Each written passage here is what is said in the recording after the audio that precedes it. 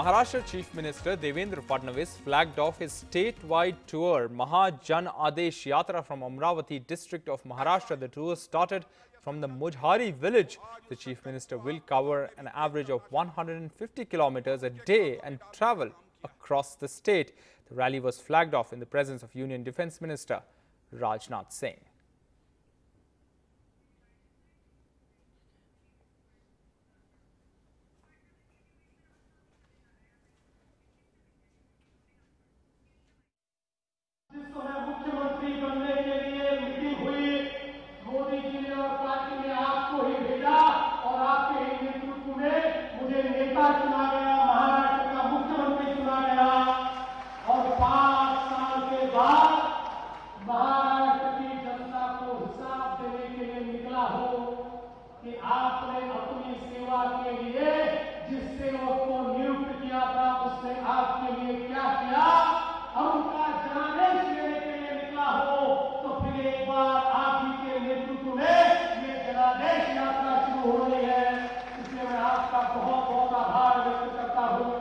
Maharashtra Chief Minister Devendra Fadnavis embarking on his Mahajanadesh Yatra, an outreach program to reach out to voters across Maharashtra as elections are due in October.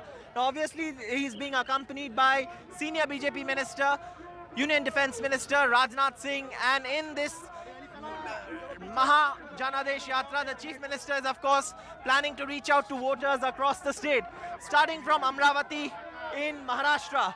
Now, obviously, this rally will travel across the state, but here right now, you can see the Chief Minister and Rajnath Singh on that truck traveling across Maharashtra. This is the Mahajanadesh Yatra.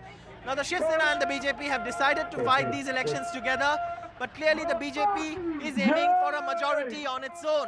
And to reach that target, the BJP is reaching out to voters across the state with this yatra to try and realize its goal of governing Maharashtra on its own without the support from any alliance partner.